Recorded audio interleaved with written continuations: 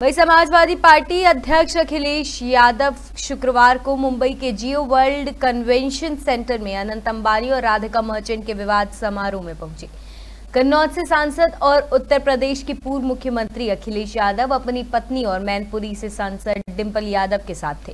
वही अखिलेश यादव शुक्रवार को शादी समारोह में शामिल होने के लिए मुंबई पहुँचे थे। शादी में शामिल होने वाले अन्य राजनेताओं में पश्चिम बंगाल की मुख्यमंत्री ममता बनर्जी, शिवसेना यूबीटी प्रमुख उद्धव ठाकरे एनसीपी नेता सुप्रिया सुले और लालू प्रसाद यादव शामिल रहे।